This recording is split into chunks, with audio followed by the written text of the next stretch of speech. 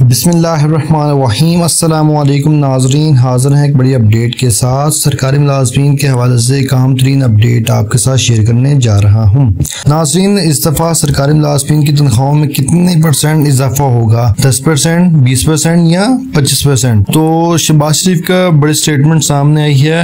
ان کا کہنا تھا وسائل کے مطابق تنخواہوں میں اضافہ کیا جائے گا۔ اب یہ کتنا اضافہ ہوگا، اسی کی ڈیٹیل آپ کے ساتھ میں شیئر کرنے جا رہا ہوں، لیکن آپ سے ریکویسٹ ہے ویڈیو کو لائک کر دیں۔ بڑھتے ہیں تفصیلات کی جانب، وسائل کے مطابق تنخواہوں میں اضافہ کیا جائے گا، یہ کہنا تھا شہباز شریف کا۔ وزیر اعظم شہباز شریف سے پاکستان پیپل پارٹی کے سینئر رہنماؤں نے ملاقات کی، جس میں ملک کی مجموعی سیاسی و معاشی صورتحال پر تبادلہ خیال کیا گیا۔ ذرائع کے مطابق ملاقات میں مالی سال دو ہزار چوبیس پچیس کے بجٹ کے حوالے سے بھی مشاورت کی گئی۔ ملاقات کے دوران پیپل پارٹی نے بجٹ میں عوام کو ریلیف دینے کے لیے اپنی تجاویز پیش کی اور سرکاری ملازمین کی تنخواہوں اور پینشن میں بیس سے پچیس فیصد اضافے کا مطالبہ کیا، جس پر وزیر اعظم نے پیپل پارٹی کی تجاویز کا خیر مقدم کیا اور کہا کہ اپنے وسائل میں رہتے ہوئے تنخواہوں میں اضافہ کریں گے۔ ہماری اتحادی حکومت کی اولین ترجیح بھی یہی ہے کہ غریب عوام کو زیادہ سے زیادہ ریلیف دیں۔ پیپل پارٹی نے بجٹ کی منظوری میں حکومت کو مکمل یقین دہانی کروائی۔ اس موقع پر وزیر اعظم نے پیپل پارٹی کی وفاقی کابینہ میں شمولیت کے حوالے سے اپنی خواہش کا اعادہ کیا، جس پر پی پی وفد نے کہا کہ اس بارے حتمی فیصلہ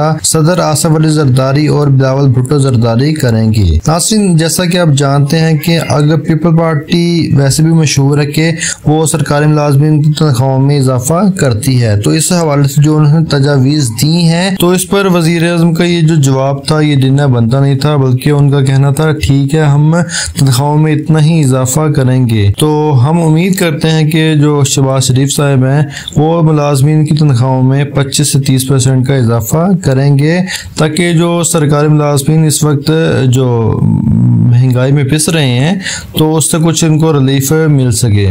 تو یہ تھی آج کی بڑی اپڈیٹ تھینکس فار واچنگ اللہ حافظ۔